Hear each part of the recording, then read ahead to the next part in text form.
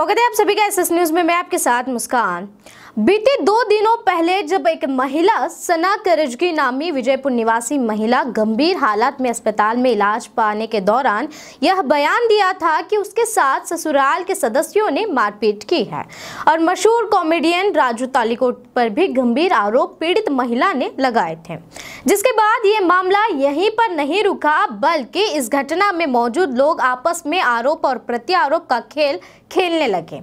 जिसकी हकीकत क्या है, ये अब तक साफ़ तौर पर नज़र नहीं आ रही है।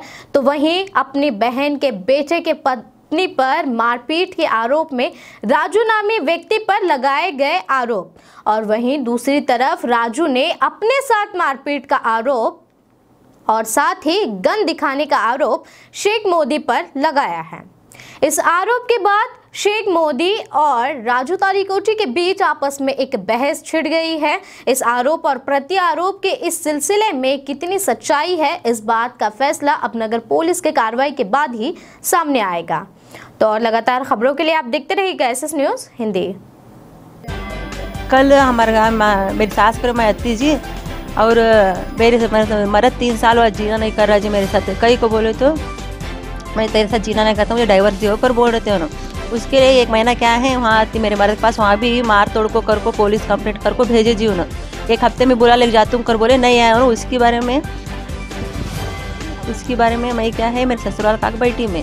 ससुराल काक बैठी तो मुझे हमें मालूम भी नहीं हाँ, हमारे जेठ नो आज के दिन आते कहते उन्होंने हाई कर को चाहिए मैं। हाई नहीं तुम्हारे जेठ हाई माँ कर बोलने को जाए गए तो होता हमारे जेठ से बात कर को अच्छे से रहने होता कर को गई मैं। गई तो हमारे जेठ ही नहीं आते। मेरे पास एक चावी आता मेरे हमारी सास दी थी पहला रख ले मैं तेरे पास कर को। वो चावी आता वो चाबी से खोलूँ मैं घर।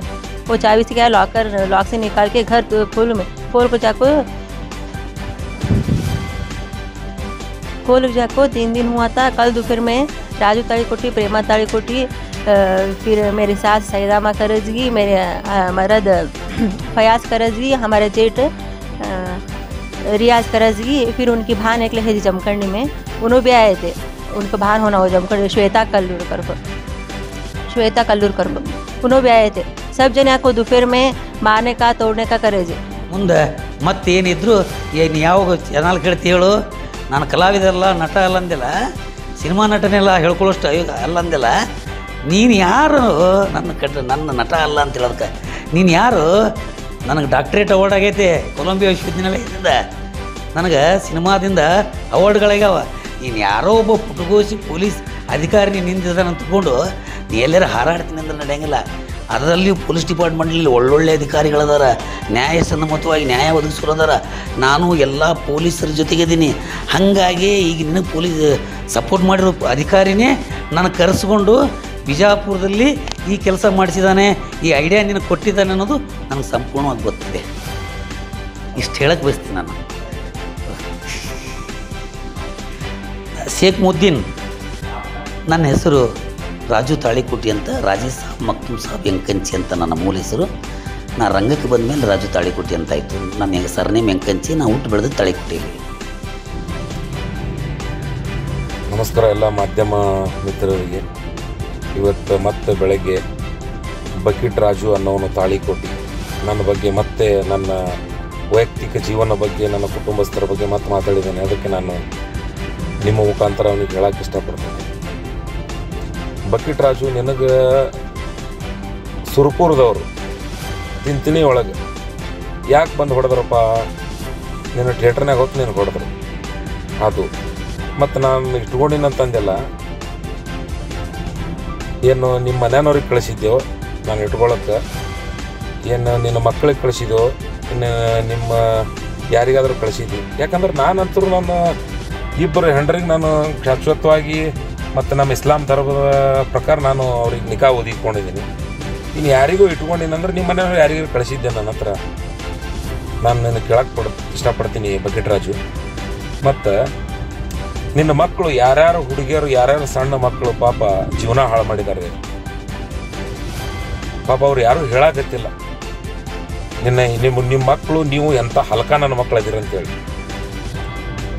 ಮತ್ತು ನೀ ಹೇಳ್ತಿ, ವಿಷ ಕುಡಿಸಿದ್ದು ಪ್ರೂಫ್ ಮಾಡಿ ತೋರಿಸ್ ಅಂತೇಳಿ. ನಾ ನಿನ್ನ ಮೇಲೆ ಆರೋಪ ಮಾಡಿಲ್ಲ, ವಿಷ ಕುಡಿಸಿನಿ, ನೀ ಇದು ಮಾಡಿದೆ ಅದು ಮಾಡಿ ಅದು ನನ್ನ ಹೆಂಡತಿ ಮನೆಯವ್ರು ನಿನ್ನ ಮೇಲೆ ಕಂಪ್ಲೇಂಟ್ ಕೊಟ್ಟರೆ ಅದು ಕಾನೂನು ಪ್ರಕಾರ ಅವ್ರು ಏನು ವಿಷ ಕುಡಿಸಿದ್ಯೋ ಏನಿಲ್ಲೋ ಬಿಟ್ಟಿದ್ಯೋ ನೀ ಏನು ಮಾಡಿದ್ಯೋ ಅನ್ನೋದು ಕಾನೂನು ನೋಡ್ತದದು. ಅದಕ್ಕೆ ಕಾನೂನು ಆನ್ಸರ್ ಕೊಡ್ತದೆ ಬಟ್ ನೀನು ಡೈರೆಕ್ಟಾಗಿ ನನ್ನ ಮೇಲೆ ವೆಪನ್ ಇಟ್ಟಿನಿ ಅಂತೇಳಿ ಆರೋಪ ಮಾಡಿದ್ದಿ. ನಾನು ಅಷ್ಟರ ಬಗ್ಗೆನೇ ಮಾತಾಡ್ತೀನಿ. ನೀನು ಬೋಳಿಸ್ಕೋದು ಬೇಡ. ನೀನು ಬಲ್ಯಾಕೆ ಏನೂ ಇಲ್ಲ ಬೋಳಿಸ್ಕೊಲಕ್ಕೆ ಬಿಡು. ನೀ ಬೋಳಿಸ್ಕೋತೇ ಬಂದಿದ್ದಿ. ರಂಗ ಭೂಮಿ ಹೆಸರಿನಲ್ಲಿ ಎಲ್ಲರಿಗೂ ಬೋಳಿಸ್ಕೊಂಡು ಮೋಸ ಮಾಡ್ಕೋತೆ ಬಂದಿದ್ದಿ ಬಕೆಟ್ ರಾಜು. ಬಕೆಟ್ ರಾಜಪ್ಪ, ನಿನಗೆ ಡಾಕ್ಟ್ರೇಟ್ ಕೊಟ್ರಂತ. ಪಾಪ ಅವ್ರಿಗೆ ಏನು ಗೊತ್ತಿಲ್ಲ ನಿನ್ನ ಬಗ್ಗೆ ಡಾಕ್ಟ್ರೇಟ್ ಕೊಟ್ಟಿರ್ಬೋದು ನಿನಗೆ. ಅದು ಕೊಟ್ಟರು ಏನಿಲ್ಲೋ. ಅದು ದೇವ್ರಿಗೆ ಗೊತ್ತ, ಕೊಟ್ಟರು ಕೊಟ್ಟಿರ್ಬೋದು, ನೀನು ಬಕೆಟ್ ರಾಜು ಅನ್ನೋದು ಗೊತ್ತಿಲ್ಲ ಅವರಿಗೆ. ಕೊಟ್ರ. ಮತ್ತು ಇನ್ನೊಂದು, ನೀನು ಮಾತಾಡ್ಬೇಕಾದ್ರೆ ಸ್ವಲ್ಪ ಧ್ಯಾನ ಐತಿ ನಿನಗೆ. ನೀನು ನನ್ನ ಮೇಲೆ ಗಂಭೀರ ಆರೋಪ ಮಾಡಕತ್ತೀನಿ, ನಾನು ನಿನ್ನ ಮೇಲೆ ಗಂಭೀರ ಆರೋಪ ಮಾಡಕತ್ತೀನಿ. ಹೌದಾ? ವೇದಿಕೆ ಸಜ್ಜು ಮಾಡು, ಬರ್ತೀನಿ ಅಂತ. ನೀನು ನನ್ನ ನಾನು ನಿನ್ನ ಮೇಲೆ ಗನ್ ಇಟ್ಟಿದ್ದು ಖರೇನಾ? ಅಪ್ಪರಿಗೆ ಹುಟ್ಟಿರಿ ನೀವು? ನಾನು ನಮ್ಮ ಅಪ್ಪರಿಗೆ ಹುಟ್ಟಿದ್ವಿ ನೀನು ನಿಮ್ಮ ಅಪ್ಪರಿಗೆ ಹುಟ್ಟಿದ್ರೆ ಈ ವಿಷಯ ಮೇಲೆ ಚರ್ಚೆ ಮಾಡು ಗನ್ನ ಮೇಲೆ. ಯಾಕಂದ್ರೆ ವಿಷ ಕುಡಿಸಿನ ಅಂತೇಳಿ ನಾನು ನಿನ್ನ ಮೇಲೆ ಕಂಪ್ಲೇಂಟ್ ಕೊಟ್ಟಿಲ್ಲ.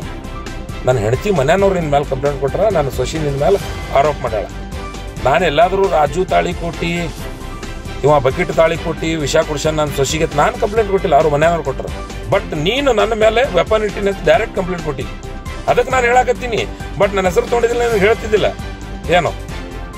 ಮತ್ತೆ ಯಾವುದೇ ಆಫಿ ಇನ್ನು ಮುಂದೆ ಏನೇ ಪ್ರತಿಕ್ರಿಯೆ ಆರೋಪ ಮಾಡು ಆರೋಪ ಮಾಡು. ನಾನು ಅದ್ರ ಬಗ್ಗೆ ಕಮೆಂಟ್ ಮಾಡಲ್ಲ. ಏನೇ ಇದ್ರು ನೀನು ಖರೆ ಗಂಡಸಾಗಿದ್ರ, ವೇದಿಕೆ ಸಜ್ಜು ಮಾಡು, ವೇದಿಕೆ ಮೇಲೆ ಬರ್ತೀನಿ. ಎದರ ಬೆದರ ಕೊಂಡ್ರೋಮ್ ಅವಾಗ ನಿಂದು ನಂದು ಸತ್ಯಾಂಶ ಇಡೀ ಜಗತ್ತಿಗೆ ಜಾಹೀರಾಲಿ. ಮತ್ತೆ ಬಂದೂಕ್ ಇಟ್ಟಿದ್ದು ಹೇಳತ್ತಿಲ್ಲ, ಆಣಿ ಮಾಡು, ಅಮರಯ್ಯ. ಅದು ಹೆಂಗ ಆಣಿ ಮಾಡಿದೆಲ್ಲ, ಆಣಿ ನಿನ್ಗೆ ನಂಬಲ್ಲ. ದೇವ್ರಿಗೆ ನಿನ್ಗೆ ನಂಬಿಕೆ ಇಲ್ಲ. ಬಟ್ ನನಗದ ಒಂದು ವರ್ಷ ನಿನಗರ ತೋರಿಸ್ತಾನೆ, ನನಗರ ತೋರಿಸ್ತಾನೆ ದೇವರು. ಅದು ಪೊಲೀಸ್ ಇಲಾಖೆ ಅನ್ನೋದು ಸತ್ಯಾಂಶ ಹೊರಗೆ ತೆಗಿತದೆ ನಾನು ಮಾಧ್ಯಮ ಪ್ರಕಟಣೆ ಕೊಡ್ತಾ ಇದ್ದೀನಿ. ನಾನು ಇಷ್ಟೇ ಹೇಳಕ್ಕೆ ಇಷ್ಟಪಡ್ತೀನಿ ಹೆಚ್ಚಿಗೆ ಏನೂ ಹೇಳಲ್ಲ. ನಮಸ್ಕಾರ ಎಲ್ಲರಿಗೆ ನಾನು शेख मोदी अंकेडू एस एस न्यूज़ से जुड़े हर लेटेस्ट जानकारी के लिए हमारे YouTube channel S S news को सब्सक्राइब करें। सबसे पहले न्यूज़ देखने के लिए बेल आइकॉन पर प्रेस करना बिल्कुल भी ना भूलें। अगर इस चैनल से जुड़े हर नए मुद्दे आपको पसंद आए, हमारे वीडियोस को लाइक और शेयर ज़रूर करें। और लगातार अपडेट के लिए देखते रहिए एस एस न्यूज़।